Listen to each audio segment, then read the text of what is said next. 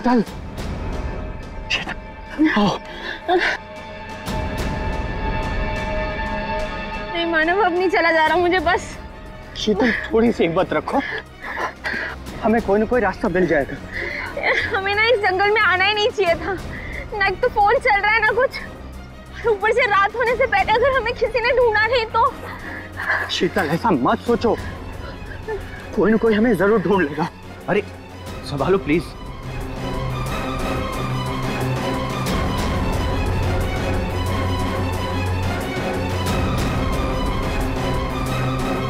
शीतल शीतल झील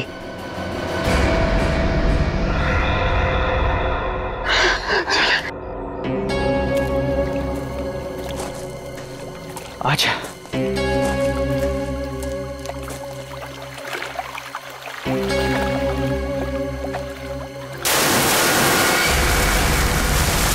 आवाज़ कैसी है? लगता है झील में कुछ गिरा है।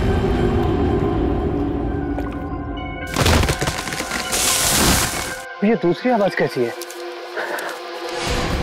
ओ माय गॉड इतने सारे पैसे! मानव ये सारे तो हज़ार रुपए के नोट है। पर ये आ कहाँ से रहे अरे छोड़ ना यार। जो भी लक्ष्मी आ रही है सब बटोर के रख ले। बैग में रख बैग में।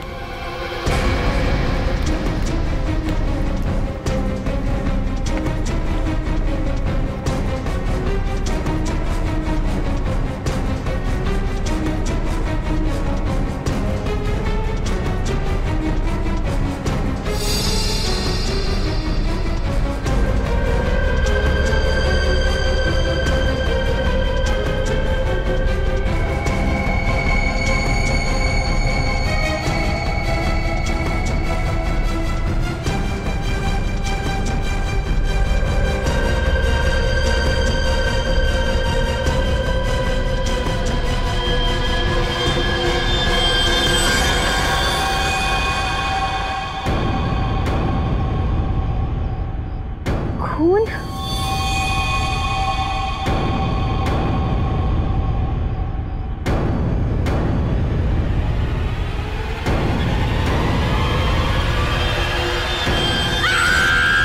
शीतल शीतल क्या हुआ शीतल क्या हुआ क्या हुआ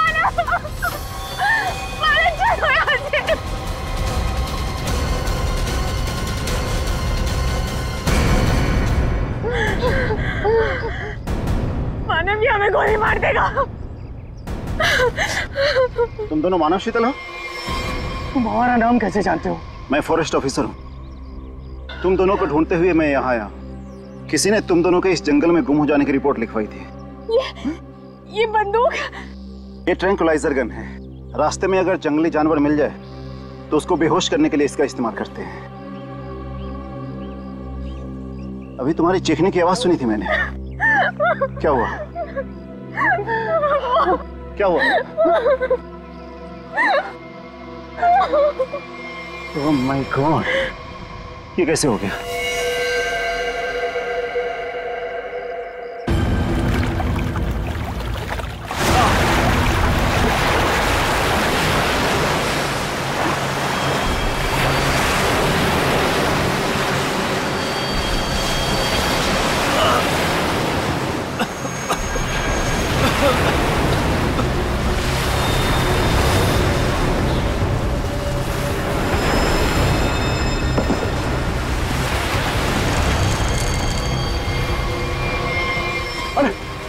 आप ठीक है ना साहब सब ठीक है। मेरी मदद मेरी मंगेतर किसी ने किडनैप कर लिया उसे मार डालेंगे प्लीज़ मेरी मदद कीजिए। आप आपको पहले हॉस्पिटल आपके पास फ़ोन है फ़ोन फ़ोन दीजिए प्लीज़ मुझे सीआईडी को फ़ोन करना है। ले लो साहब। गोली गोली भाई साहब भाई साहब।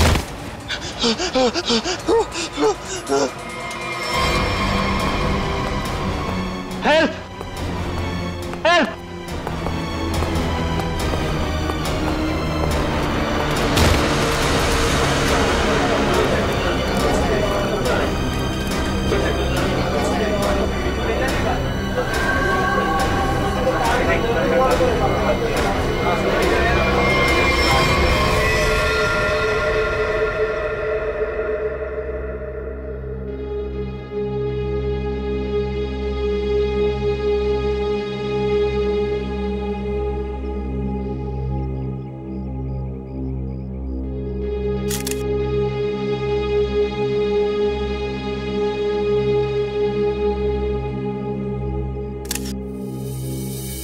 सर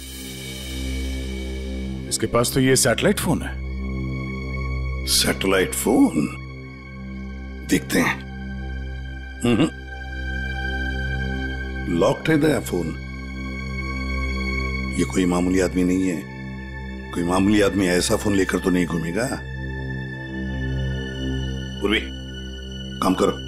देखो और कोई आईडी मिलती है क्या?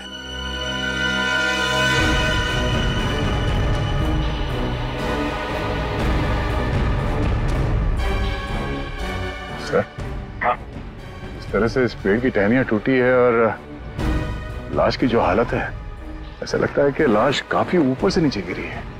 ये बात तो है दया। सर सर हम लोगों ने भी ना बहुत जोरों की आवाज़ सुनी और जब हम लोगों ने यहाँ आके देखा तो ये बॉडी ना उधर पेड़ पे लटकी हुई थी।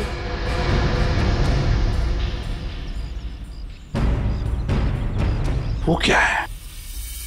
बैग जैसे लग रहा है दया। कहीं उसी आदमी के तो बैग नहीं। निखिल वो देखो ऊपर चढ़ के देखो क्या है। नीचे उतारो नीचे उतारो उसे।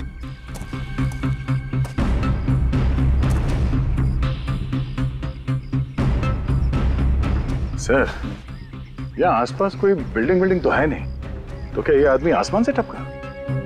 तो कहीं ऐसा तो नहीं कि ये किसी हवाई जहाज़ से नीचे गिरा? लेकिन सर ये एरिया तो नो फ्लाइंग जोन में आता है। इसके ऊपर से कोई कमर्शियल प्लेन्स में नहीं उड़ते। हो सकता है कोई हेलीकॉप्टर गया हो ऊपर से। कोई आवाज़ सुनी चौपर की?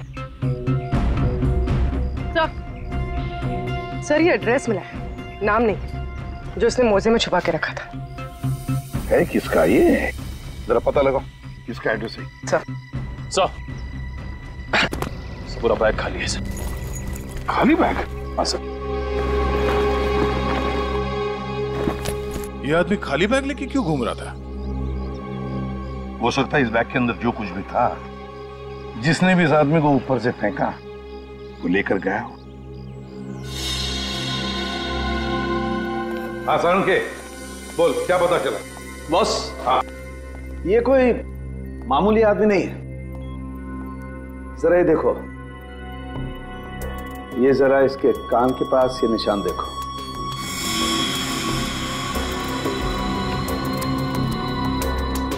यार ये कोई सर्जरी का ऑपरेशन का निशान लगता है। बिल्कुल बॉस ये ऑपरेशन का ही निशान है। ये निशान देख करके मुझे लगा कोई ना कोई चक्कर है। और इसीलिए मैंने इसके चेहरे की अच्छी तरह से एनालिसिस की। तो इसका चेहरा कई बार बदला गया है boss. Plastic surgery hmm plastic surgery एक चीज़ और बताता हूँ बॉस। यहाँ पर कुछ दिखाई दे रहा है?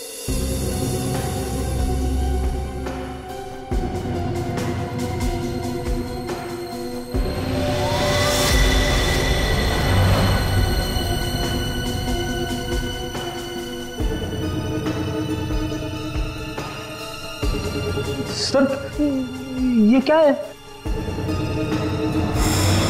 ये तो कोई सिंबल है कोई निशान है। नस दबाने पर ही दिखता है। इसलिए हमें निशान वहाँ नहीं दिखा जहाँ पे लाश मिली थी। बॉस ये खास तरीके का ट्रांसमीटर है जो इसकी चमड़ी के अंदर छिपा करके लगाया गया कमाल है सर। ये आदमी बार बार अपनी शक्ल बदलता रहा इसकी कलाई पे ये डिवाइस लगा है और इसकी मौत ऊपर आसमान से गिरने से हुई है। अच्छी खासी पहली बना हुआ है सर सर इस आदमी के पास मिले सैटेलाइट फ़ोन को हम डिक्रेट नहीं कर पाए। लेकिन इसके पास से जो कागज़ पर एड्रेस मिला था वो किसी विशाल नाम के आदमी का है। विशाल? है कौन ये विशाल? इस विशाल के घर जाकर ही पता करना पड़ेगा। सर थोड़ी देर पहले एक न्यूज़ आ रही थी। मैंने रिकॉर्ड कर लिया। ये देखें। आज की ब्रेकिंग न्यूज़ आज सुबह एक छोटा प्राइवेट प्लेन दुर्घटनाग्रस्त होकर समुद्र में गिर गया। उस इलाके के कुछ लोगों ने एक आदमी को पैराशूट से नीचे गिरते हुए देखा। नौसेना उस विमान के बारे में पता लगाने की कोशिश कर रही है। प्लेन समंदर में क्रैश हुआ है और वो झील भी तो पास में ही है। हो सकता है ये आदमी भी उसी प्लेन में हो जिसका एक्सीडेंट हुआ। है किसी ने धक्का वक्का दे दिया हो प्लेन से? सर जो आदमी प्लेन से कूदा था पैराशूट लेके हो सकता है उसी ने इस आदमी को धक्का दिया हो प्लेन से? हो सकता है। किसी भी कीमत पे हमें उस आदमी के बारे में पता लगाना पड़ेगा जिसने ये धक्का दिया हो। सर एक बार प्लेन का पता चल जाए तो आदमी का भी पता चल जाएगा। जितने भी प्राइवेट एयरफील्ड है ना वहाँ जाके पता लगाओ कि ऐसा कौन सा प्लेन कब उड़ा था और उसमें कौन कौन लोग सवार थे।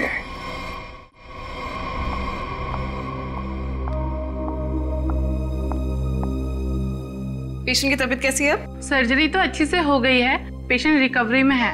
Okay okay. और उनकी फैमिली? इसके वॉलेट से इसकी आईडी मिली थी। पेशेंट का नाम विशाल है।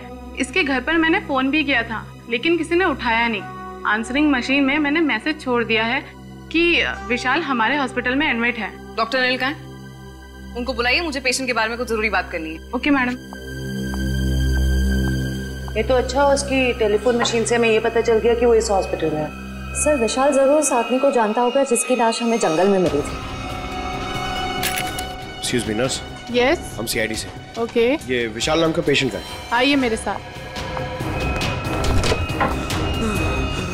अरे ये कैसे निकल गया? यहाँ पे कोई और भी था क्या? एक लेडी डॉक्टर थी लेकिन मैंने उन्हें पहले कभी यहाँ नहीं देखा। किसी और डॉक्टर को बुलाइए जल्दी।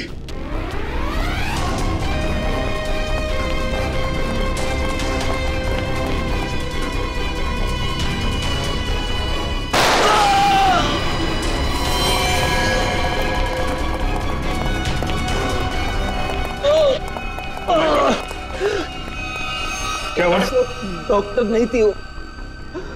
मैंने उसे पकड़ा तो गोली मार के उधर भाग गई। साहब वो लड़की बाइक पे भागी साहब। बाइक पे भागी? हाँ जी। उसकी डिटेल्स भेजो कंट्रोल रूम में। बाकी जाएगी कहाँ? आयशा आयशा। आयशा विशाल को छोड़ो। हमारी प्रायोरिटी क्या है? वो ब्रीफ केस है ना? यदि नताशा के पास वो ब्रीफ केस नहीं है तो केडी के पास होगा।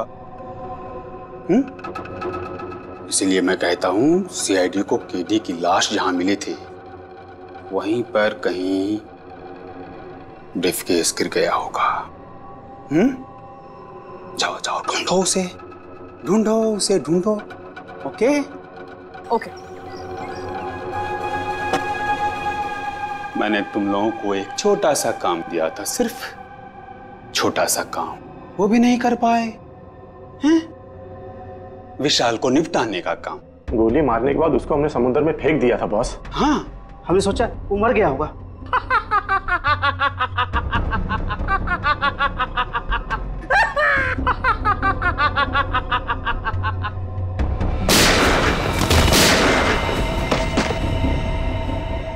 विशाल जिस आदमी को प्लेन में से फेंका गया था तुम उसे कैसे जानते हो? सर मैं उसे नहीं जानता। सर मेरी मंगेतर नताशा एक इन्वेस्टिगेटिव जर्नलिस्ट है। सर पिछले कुछ सालों से अलग अलग इलाकों से एक ही उम्र की लड़कियाँ गायब हो रही थी। वो उसी के बारे में इन्वेस्टिगेट कर रही थी। सर उसको पता चला था कि कोई चाकू टाकू गैंग है जो इसके पीछे इन्वॉल्व है। चाकू टाकू सर ये गैंग बहुत चुपकर चलाया जा रहा था। इसके बारे में किसी को कुछ नहीं पता था। ओ तो उस आदमी के कलाई पे जो निशान था सर वो शायद इसी गैंग की पहचान है। फिर? सर कुछ दिन पहले मैंने देखा कि नताशा बहुत खुश नज़र आ रही है। तो मैंने उससे पूछा उसकी वजह क्या है?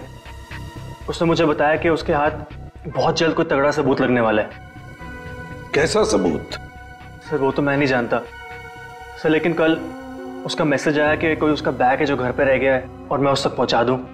तो सर जब मैं वो बैग लेके उसका इंतज़ार कर रहा था तब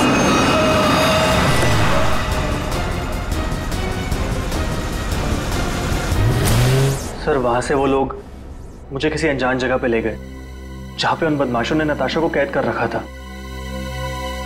कौन थे वो लोग? सर मैं नहीं जानता सर। सर मेरी आँखों पे तो पट्टी बंधी हुई थी। मैं सिर्फ़ नताशा की आवाज़ सुन सकता था। वो सर अपनी जान की भीख मांग रही थी उनसे। तो उन्होंने तुमसे बैग छीन लिया। उसके बाद क्या हुआ? सर वो जो कुछ भी ढूंढ रहे थे वो उनको उस बैग में नहीं मिला। तुम उनसे बचकर कैसे निकले? सर उन लोगों ने मुझ पर गोली चलाई और मुझे समुद्र में फेंक दिया। सर मैं किसी तरह बच गया और तैर कर किनारे तक पहुँच गया। लेकिन लेकिन वहाँ भी उन लोगों ने मुझे मारने की कोशिश की। अभिजीत दया वो आदमी जो प्लेन में से फेंका गया था वो इन्हीं के गैंग का था। उसके कलाई पर वो निशान भी तो था। हो सकता है कि वो आदमी शायद नताशा को इनके गैंग के बारे में सीक्रेट्स बताने वाला था। वही सबूत जिसके बारे में नताशा ज़िक्र कर रही थी विशाल के पास। और शायद इसीलिए उसे प्लेन में से फेंक दिया इन लोगों ने। और फिर नताशा की जान के पीछे पड़े। क्या हुआ विशाल? विशाल तुमने फ़ोन पर बताया कि मेरी नताशा को कुछ हो गया? हाँ आंटी। बदमाशों ने नताशा को किडनैप कर लिया। क्या? हाँ। पता नहीं वो भी ज़िंदा भी हो गया। मैं तुमको मना करती रही ना। फिर भी तुमने मेरी बच्ची को फंसा दिया इन सब में। प्लीज़ प्लीज़ सर, मेरी बच्ची मेरी बच्ची को बचा लीजिए सर। मेरे पति भी एक पुलिस ऑफिसर थे। और और फिर उन्होंने ज़िंदगी अपने देश के लिए कुर्बान कर दी। मैं अपना पति खो चुकी हूँ। इस चाकू डाकू गैंग तक पहुँचने के लिए हमें पहले वहाँ पहुँचना होगा, जहाँ पर विशाल और नताशा को बंदी बना के रखा था।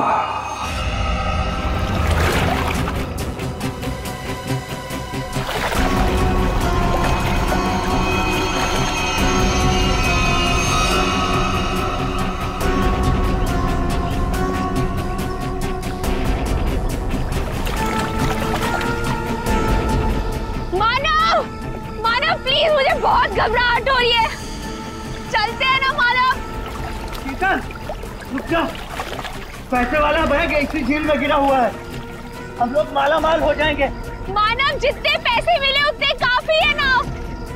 प्लीज़ यहाँ से चलो। इतना लालच सही नहीं है। पाँच मिनट रुक जा।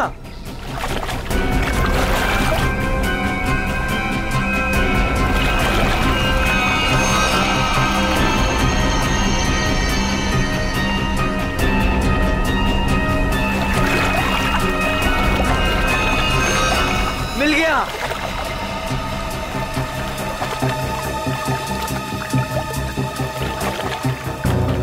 मानव मुझे ना बहुत घबराहट हो रही है। तुम काम करो प्लीज़ ये बैग ना वापस झील में फेंक दो। प्लीज़ कैसी बात कर रही हो शीतल? अरे ऊपर मारा छप्पर फाड़ कर दे रहा है। ले लो दोनों हाथों से। लो पकड़ो इसे। पकड़ो इसे खोलते हैं।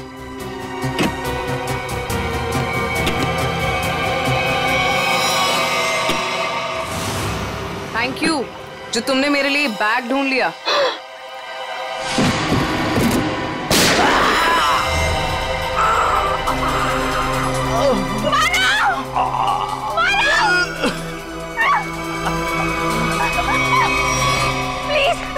मुझे छोड़ दो।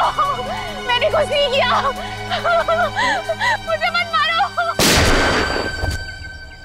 सर मैं इस मामले में आप लोगों की कोई मदद नहीं कर सकता क्योंकि पिछले कई दिनों से हमारी एक भी प्लेन किराए पे नहीं गई। झूठ बोल रहे हो तुम। एयर ट्रैफ़िक कंट्रोल से हमने सब कुछ पता कर लिया है समझे?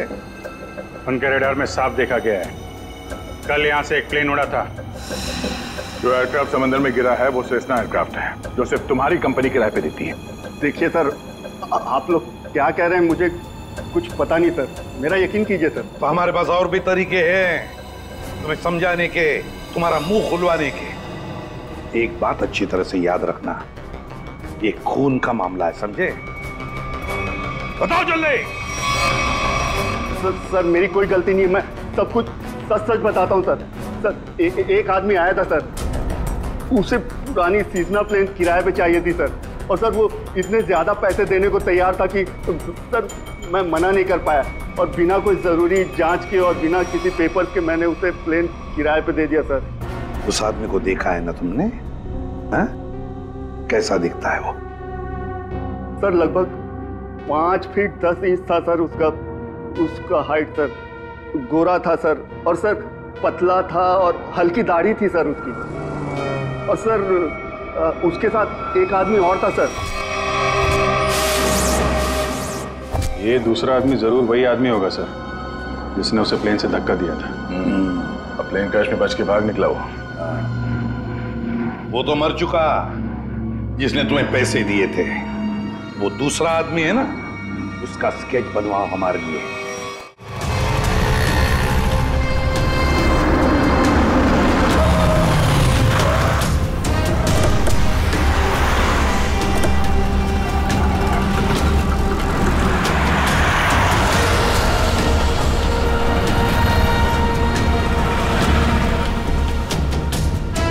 सर बस यहीं यहीं खड़ा था बस मैं। यहीं पर?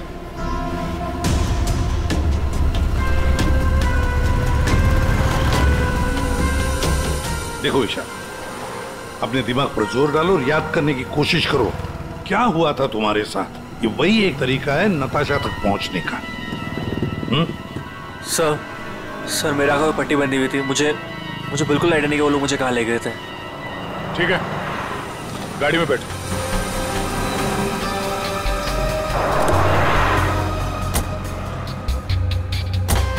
देखो ईशा तुम्हारे आँखों पर पट्टी बंदी थी है ना? जी।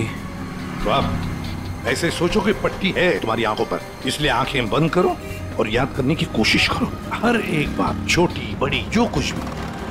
कोई आवाज़ कोई खुशबू कुछ भी।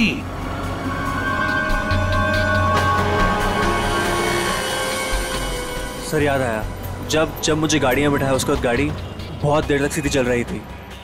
गाड़ी कहीं भी नहीं मुड़ी थी।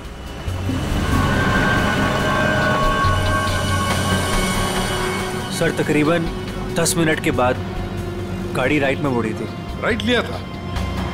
सर यहाँ से थोड़ी दूर जाने के बाद एक राइट टर्न तो है। ले लेते हैं। और क्या याद आता है? मुझे ट्रेन की आवाज़ भी सुनाई दी थी ट्रेन की आवाज़? सर यहाँ से थोड़ी दूर पे रेलवे लाइन तो है। अच्छा। ये आ, कौन सी ट्रेन थी? लोकल ट्रेन या मेल गाड़ी की आवाज़? सर शायद लोकल ट्रेन की थी। Local train? और और याद करने की कोशिश करो। सर उसके बाद गाड़ी राइट मुड़ी थी। और और वहाँ पे एक चर्च भी थी सर। क्योंकि मुझे वहीं पे चर्च की घंटी की आवाज़ सुनाई दी थी। सर वो रहा चर्च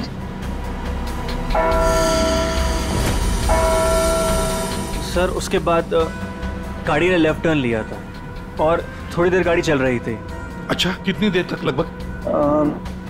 सर ये तो नहीं पता कि कितनी देर गाड़ी चल रही थी लेकिन हाँ जब गाड़ी रुकी तो उस वक्त रेडियो पे एक गाना चल रहा था। बल्ले बल्ले और 99.9 एफएम पे सर पूरी जरा फ़ोन करो रेडियो स्टेशन पे 99.9 पे। सर और उसके बाद गाड़ी रोक दी गई और मुझे मुझे बाहर निकाल के किसी मकान के अंदर ले जाया गया। तुम्हें किडनैप कितने बजे किया गया था? सर मैंने उस वक्त अपनी घड़ी देखी थी। तकरीबन साढ़े छः बजे थे। Okay thank you sir sir गाना सात बजकर पंद्रह मिनट में चला गया। सवा सात बजे गाना बजा। दया साढ़े छह बजे इसका किडनैप हुआ। सात बजे इसने चर्च की बेल सुनी। और सवा सात बजे इसने 99.9 एफएम पर गाना सुना बल्ले बल्ले। तो इसका मतलब है चर्च से लेकर 15 मिनट की दूरी पर वो घर होना चाहिए।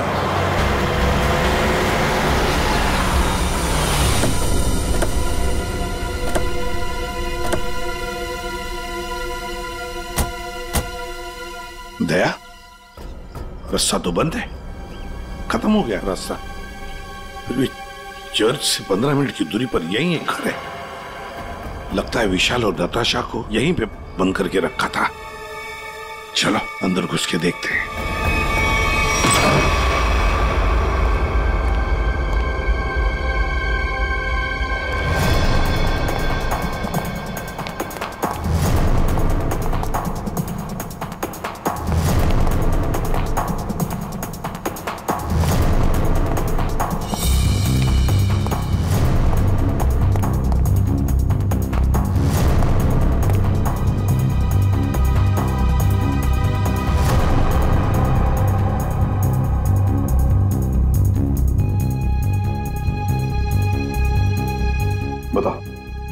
क्या हुआ था यहाँ पर? मुझे यहाँ घसीट के लाया गया था। मेरी आँखों पे पट्टी थी। तो बता सकते हो कितने लोग थे? कुछ अंदाज? मुझे तकरीबन तीन लोगों की आवाज़ सुनाई दी थी अच्छा। और उसमें से दो आदमी थे और एक लड़की। दो आदमी उनके साथ एक लड़की भी थी? जी। उसी ने कहा था कि इसको गोली मार दो। फिर मैंने किसी के कदमों की आवाज़ सुनी। मेरी तरफ़ आते हुए। और फिर गोली की आवाज़ आई और अचानक मेरी झांगों में आग लग गई। गोली मेरी झांग में घुस गई थी।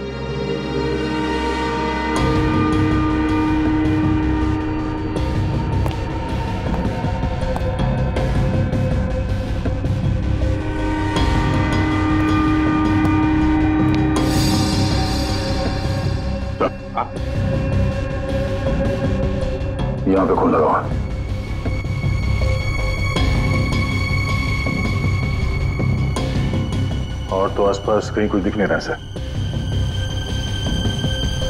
विशाल, जब तुम्हें वो यहाँ पे ले आ रहे थे, तब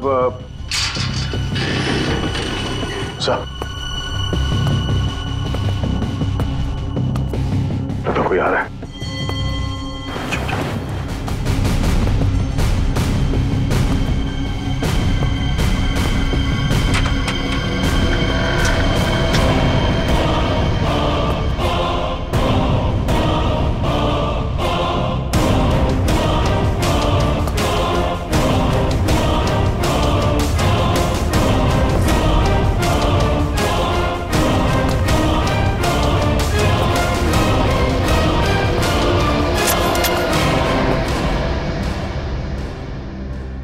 पास गन नहीं है। गन नहीं है तो फिर यहाँ क्या करने आए हो? किसी को ढूंढ रहा हूँ। किसे ढूंढ रहे हो? एक लड़की को। वो लड़की तुम्हें यहीं मिलेगी। ये तुम्हें कैसे मालूम? पिछली बार वो मुझसे यही मिली थी। जरा तुम्हारी शक्ल तो देखें।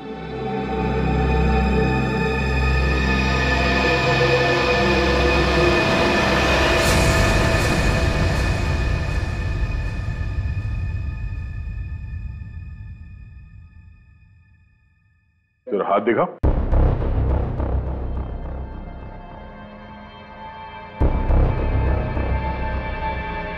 तुम जो सोच रहे हो मैं वो नहीं हूँ। मैं चाकू डाकू गैंग का नहीं हूँ।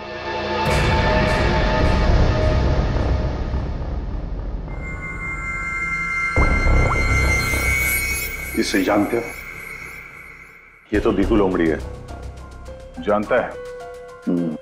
सुपारी लेता है खून करता है। इस भिको लोमड़ी ने एक आदमी को प्लेन में से फेंका था नीचे और वो चाकू डाकू गैंग का आदमी था। वो उसे छोड़ेगा नहीं। मतलब ज़रूर मारा जाएगा। इस भिकू लोमड़ी को देश से भागने के सिवा और कोई चारा नहीं है। और अगर उसे नकली पासपोर्ट बनाना हो तो मुझे मालूम है वो कहाँ जाएगा।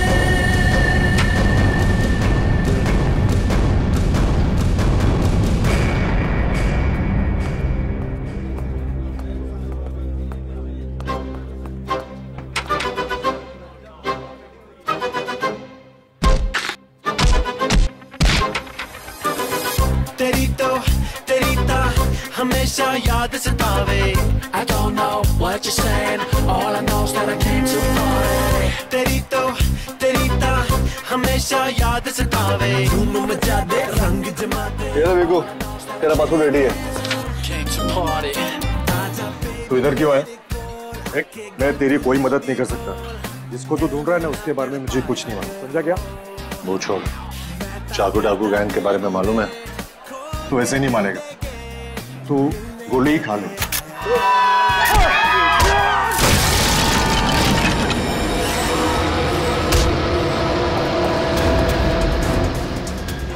डाकू डाकू वाले तुम लोग की वाट लगा डालेंगे। वाट तो हम लगा देंगे।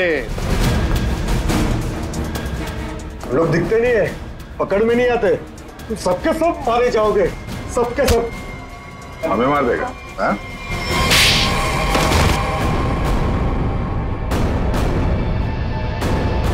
बता चाकू डाकू कहाँ मिलेगा?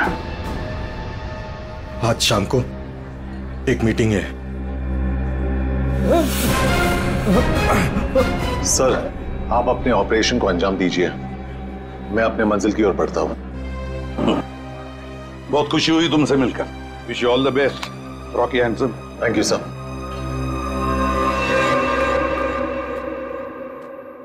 boss boss briefcase मिल गया सर और वो दो लोग जो थे ना उनको भी खत्म कर दिया मैंने। ब्रीफकेस में जो कुछ भी है उसे किसने किसने देखा है? अब सिर्फ़ मैंने।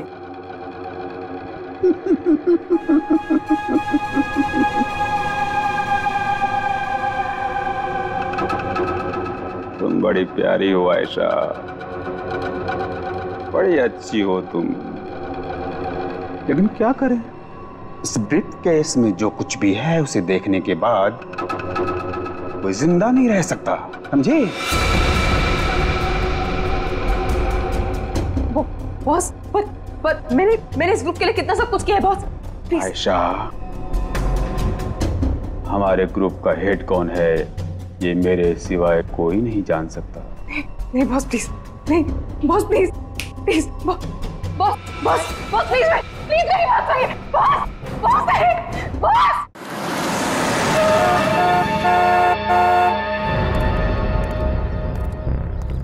अपनी पहचान बताओ। मैं मेंबर नहीं हूँ लेकिन बॉस ने मुझे मीटिंग में बुलाया।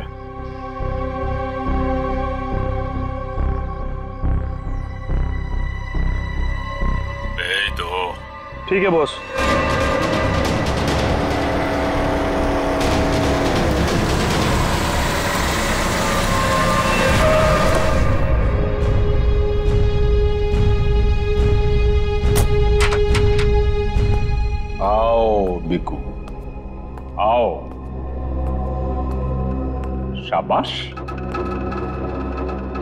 तुम्हारी इतनी हिम्मत कि तुम वापस यहाँ आ गए। मेरा काम था तुम्हारे ग्रुप में छुपे हुए उस गद्दार को मारना जो रिपोर्टर नताशा को ग्रुप के बारे में सब कुछ बताने वाला था। और और मैंने वो किया। हाँ पूरा कर दिया। लेकिन मैंने तो आपको ये कहा था कि हमारे काम की कानो कान खबर नहीं होनी चाहिए। लेकिन तुम्हारी बेवकूफ़ी की वजह से केटी की लाश सीआईडी को मिली। मिली लाश! और वो सीआईडी हमारे ठिकाने का पता ढूंढ रही है।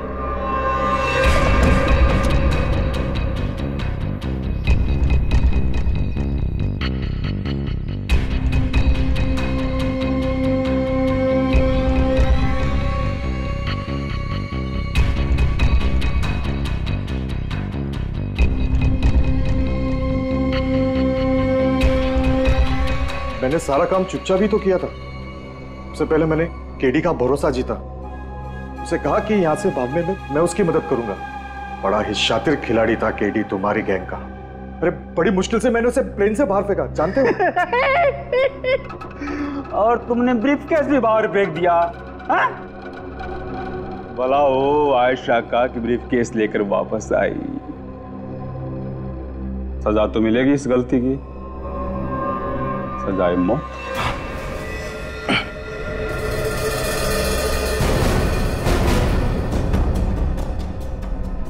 इसका मतलब आप मुझे भी मार डालोगे? हमारे ग्रुप की खासियत है कि हम अपना काम साय में करते हैं। किसी को दिखा के नहीं करते। और तुम्हारी बेवकूफ़ी की वजह से आज पूरी दुनिया को हमारे काम के बारे में हमारे बारे में पता चल चुका है। तुम्हें सजा तो मिलेगी। सजा है? मौत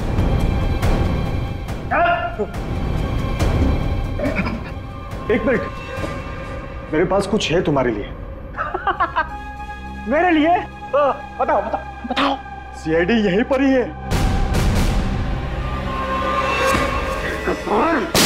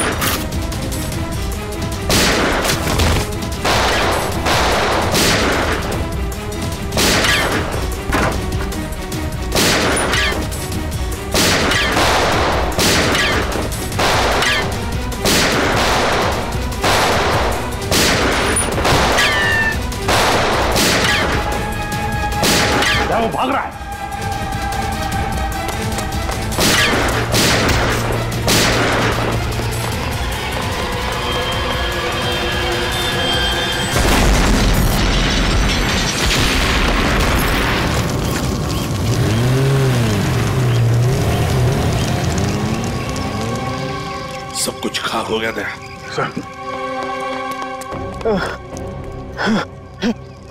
ए, देखो बताओ हमें तुम्हारे गैंग का लीडर कौन है? मर जाएँगे लेकिन कुछ नहीं बताएँगे।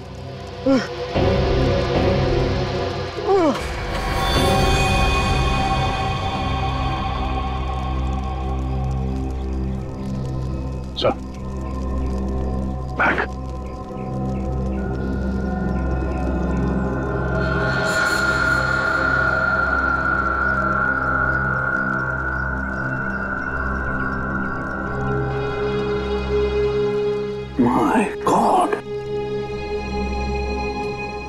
है। चाकू डाकू गैंग का लीडर। दया अभिजीत को इन्फॉर्म करो।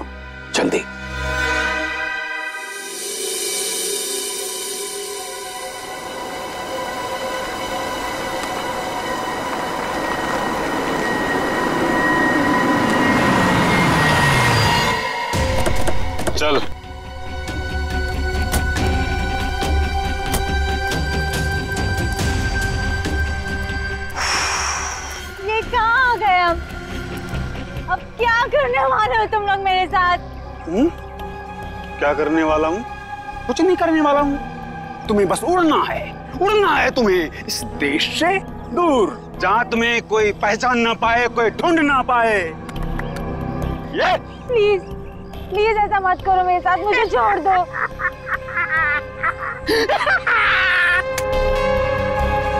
तुम्हारी गलती है। तुम्हारी गलती है। किसने कहा था तुम्हें ना गुजरने को? हमारे धंधे में मैंने कहा था इसने कहा था इसने कहा था। किसने नहीं कहा था। फिर क्यों घुसड़ी अपनी नाक हमारे धंधे में। और हमने तुम्हें मारा नहीं। क्यों? क्यों नहीं मारा मुझे?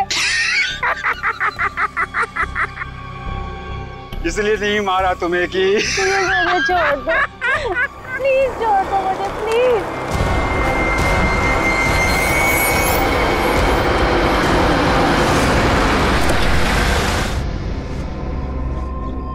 चलो चलो। हेलो बोलो हेलो बोलो। हमारे ऑर्गेनाइजेशन के हेड से हेलो बोलो।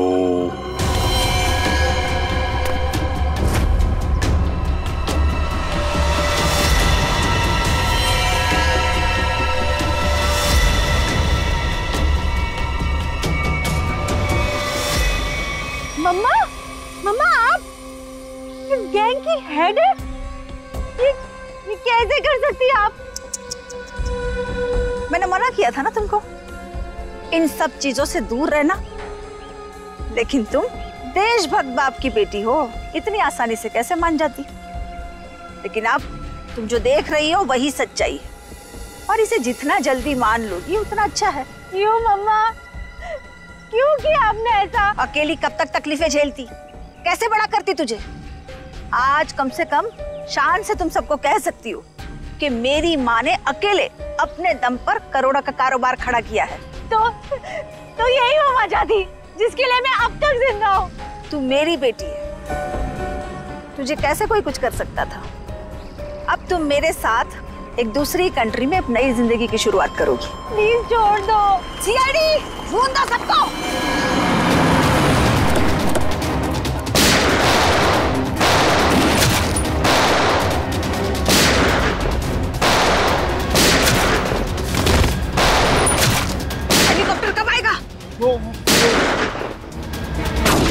मम्मा छोड़ो मुझे मम्मा।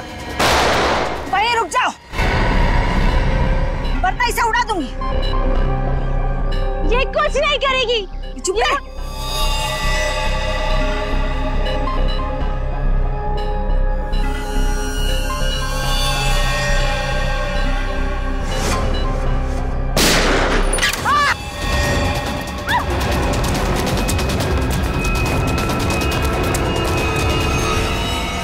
नाटक तो बहुत अच्छा करते हैं आप। अब जरा इनके नाटक से पर्दा गिरा दो।